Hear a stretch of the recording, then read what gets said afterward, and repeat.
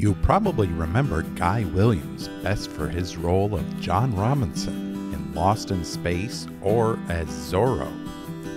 Fans also remember his short stint on Bonanza.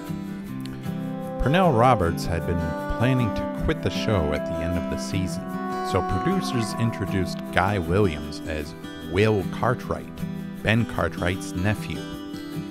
The plan was to replace Roberts with Williams, but that didn't go as smoothly as they hoped. While the Will Cartwright character did garner his share of fans, he proved to be less popular than Adam. Producers held Pernell Roberts to his contract, and he ultimately ended up staying the last year of his contract, plus another season. And I look around here, Ben, and I don't see myself. I see you and the boys. It's yours. You built it, and you belong. I will. What do you think?